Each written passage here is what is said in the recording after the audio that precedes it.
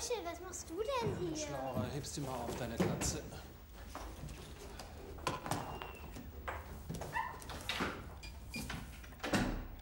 So, Alarm ist aus. Heißt du mal die Sauna an, Schatz? Ja, mach ich. Ich hab so eine Lust, das gibt's überhaupt nicht.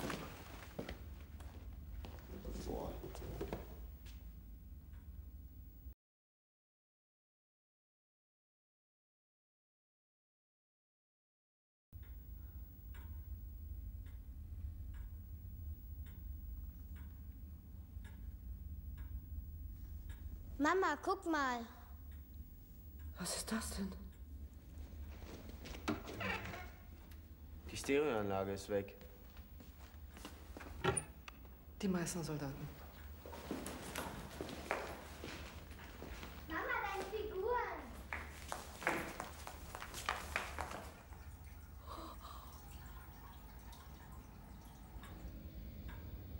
Nichts anfassen. Jürgen, wir müssen irgendwas tun. Die Polizei wollen irgendwas. Sofort. Laura, nichts anfassen. Das ist aber ein Brief. Meier, Stereoanlage ist im Kühlschrank.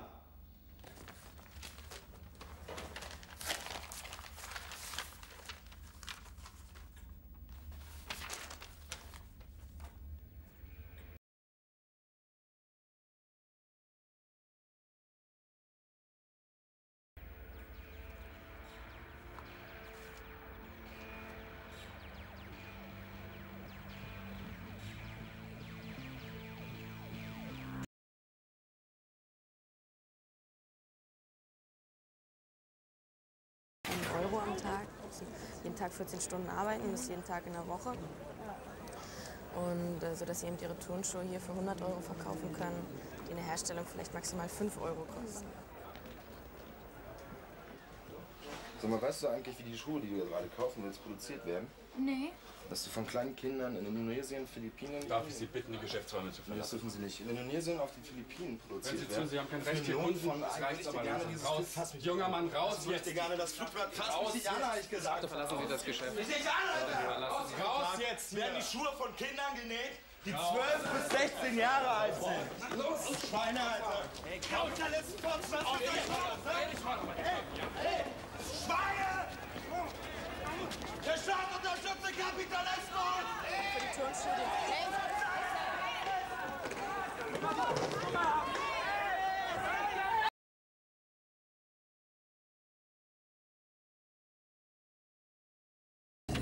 Für Gang rein. Nee.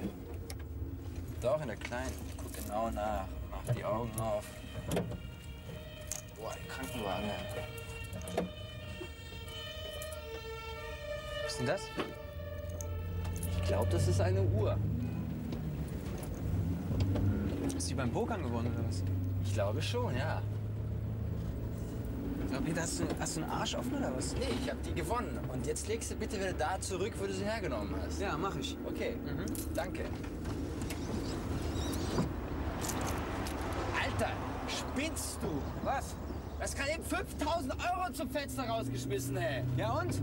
Was ja und? Ja, wie Ich- was? Es geht ums Prinzip, verdammte Scheiß nochmal. Prinzip, du mit deiner scheiß Moral, Mann, ey. Was, was hat das mit Moral zu tun, ey? Wenn die denken, dass wir normale Einbrecher sind, dann ist alles für den Arsch. Wenn wir uns in der Sache nicht einig sind, dann können wir es gleich bleiben lassen.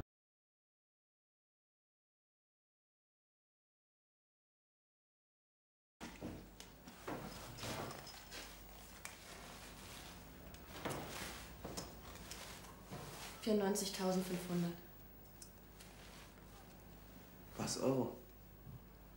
Ja, Wie hast du das gemacht? Ist eine Fabrik angezündet. schön wär's nicht. Vor einem Jahr eine Autobahn.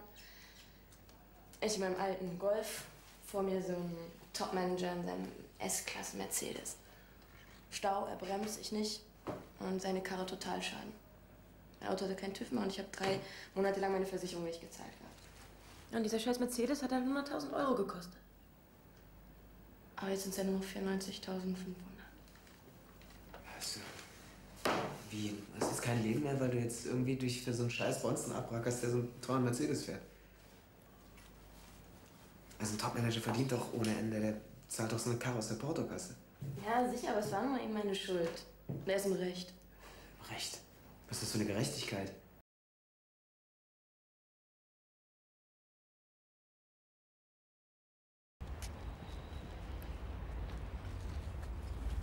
Ja, das Rebellieren ist halt schwieriger geworden.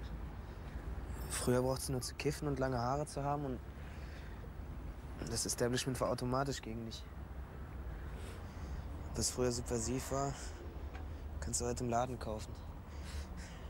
Che Guevara-T-Shirts, ne? Anarcho-Sticker. Ja, genau. Und deswegen gibt es auch überhaupt gar keine Jugendbewegung mehr.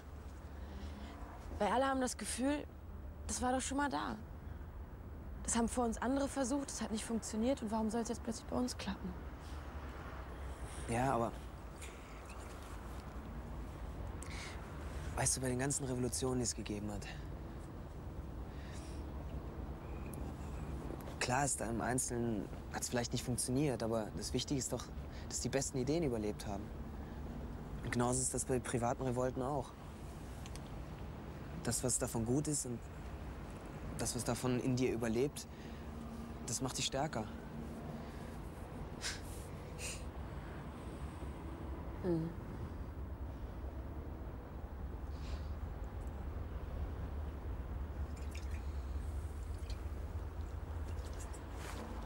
Na, sag mal, was denkst du? Wie viel von den Leuten da unten denken eigentlich gerade über eine Revolte nach? Hm? Ich glaube im Moment nicht so viele. Viertel vor elf, da hängen alle vor der Glotze. Wahrscheinlich. Der Mitteleuropäer guckt durchschnittlich vier Stunden Glotze am Tag. Vier Stunden. Da bleibt nicht mehr viel Zeit für revolutionäre Gedanken. Wann weißt du, dass ich zu dem allen nicht dazugehöre? Das ist überhaupt nicht das Problem. Das Problem ist einfach, dass ich nirgendwo etwas sehen kann, woran ich wirklich glaube.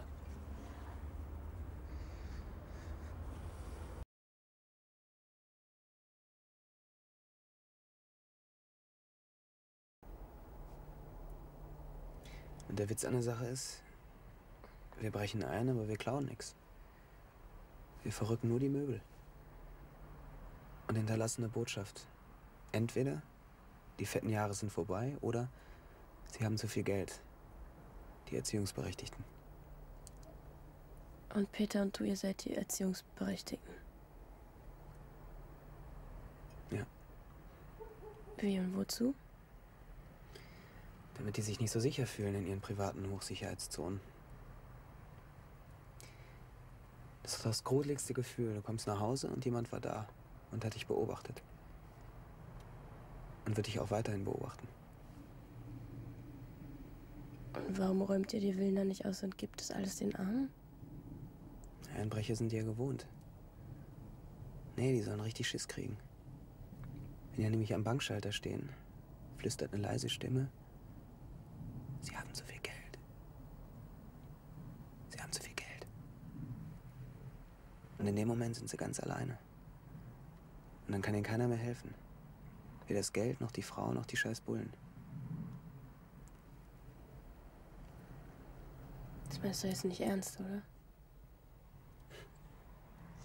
Ich zeig dir mal was.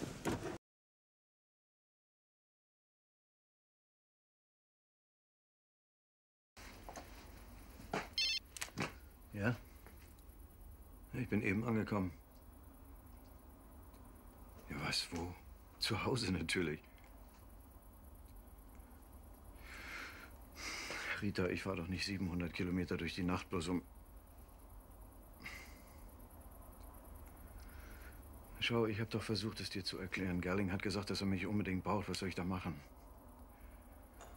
Naja, wie gesagt, in, in drei Tagen, wenn alles gut geht. Ach, scheiße. Ja, nix. Theresa hat wieder das Badezimmerlicht angelassen.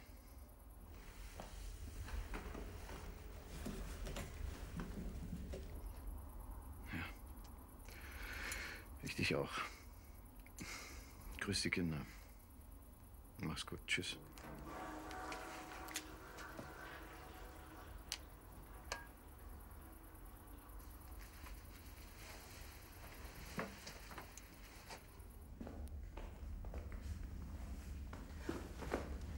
Jan, ich hab's! Was machen Sie denn hier?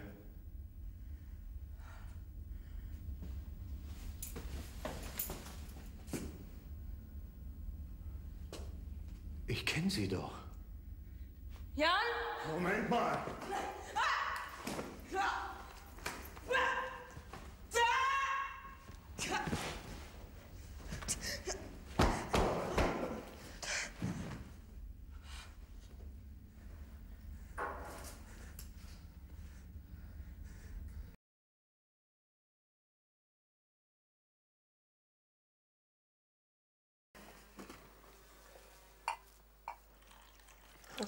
Danke.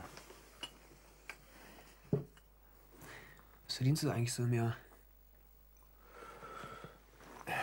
200.000 plus minus.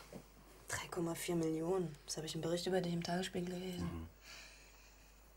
Ist ein bisschen viel bloß, oder? Hast du eigentlich kein schlechtes Gewissen?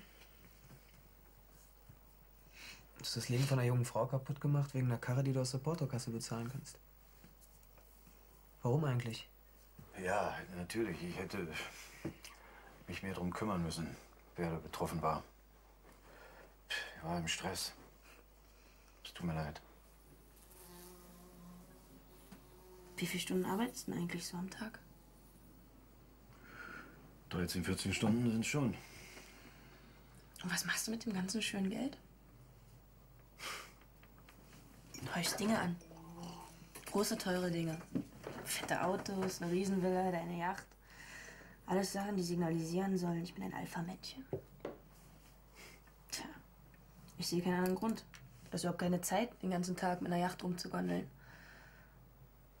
Die Frage ist, warum kriegst du den Hals nicht voll? Wir leben in der Demokratie. Ich muss mich nicht dafür rechtfertigen, dass ich Dinge besitze, für die ich bezahlt habe. Falsch.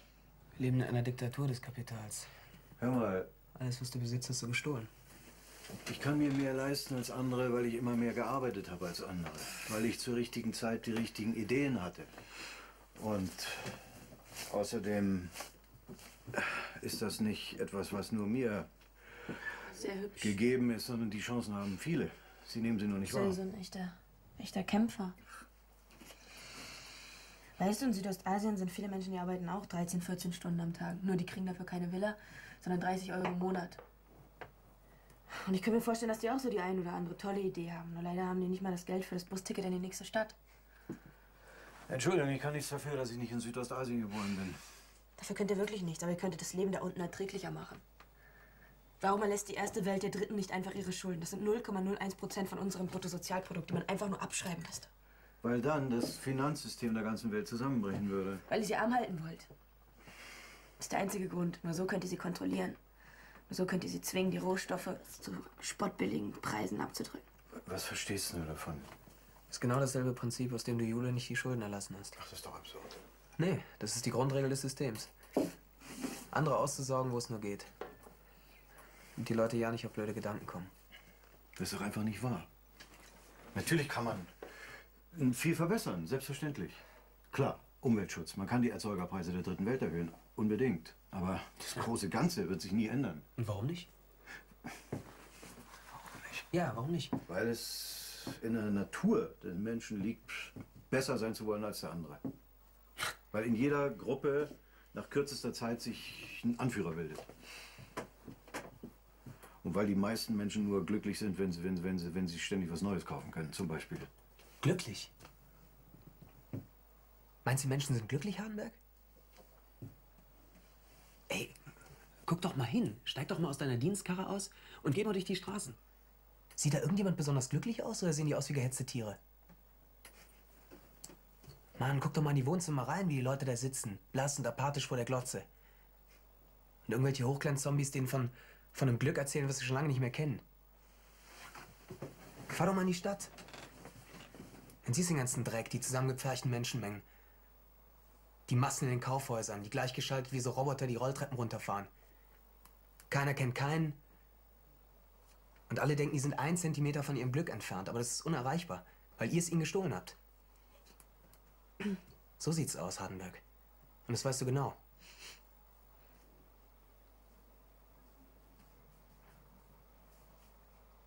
Aber ich habe eine Nachricht für dich, Manager. Die Maschine ist heiß gelaufen. Wir sind nur die Vorboten, aber eure Zeit ist bald vorbei. Diese ganze scheiß Technik hat euch bequem gemacht, aber die anderen, die haben die Wut. Die Wut von irgendwelchen Kindern, die in dreckigen Slums rumsitzen und amerikanische Actionfilme gucken. Und das ist nur die eine Seite. Was ist denn hier? Die Zahl der psychischen Krankheiten steigt nach oben. Immer mehr Serienkiller. Zerstörte Seelen, sinnlose Gewalt. Die könnt ihr irgendwann nicht mehr mit Game-Shows und Shopping betäuben. Und die Antidepressiva werden irgendwann auch nicht mehr wirken. Die Leute haben einfach keinen Bock mehr auf euer Scheißsystem.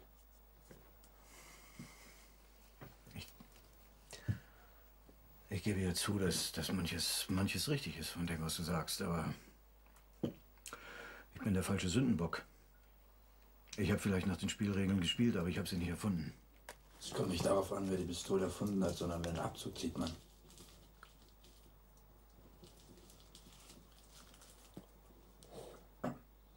Ich, äh, ich gehe mal in die Küche.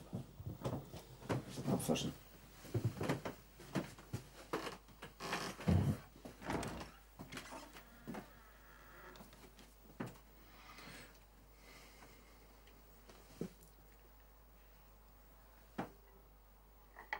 Weißt du,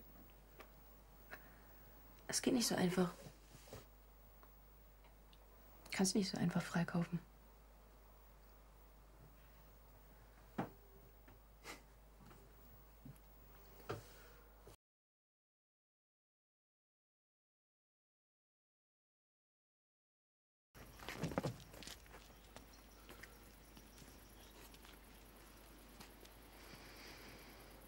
Okay. Das war's wohl, oder? Vielen Dank fürs Heimfahren. Und macht euch keine Sorgen wegen den Bullen.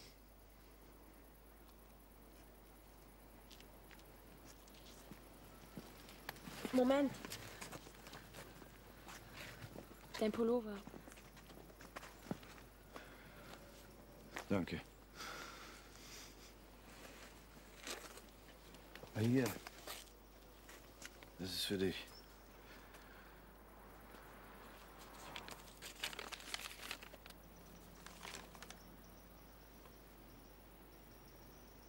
Will ja nicht dein Leben verbauen. Danke.